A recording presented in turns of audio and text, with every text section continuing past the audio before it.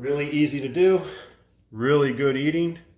Again, find the notch, go through the skin, don't go through the don't go through the backbone. Make sure you just stay above just, just the back, cut down to the backbone right behind that notch. Peel the skin back, because if you don't, you won't be able to get the fork in there. If you pinch the skin in, then, then this whole way won't work. And then just peel it off like a sock. That's it. That's as easy as it is for doing puffers.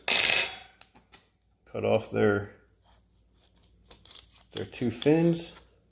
Now you don't have to cut off the fins if you want to eat around them. I like cutting them off just because I like picking the whole thing up and eating it like a like a wing, like a chicken wing, and we'll show you when we get it out of the frying pan. Get up under its anal fin. Take it up.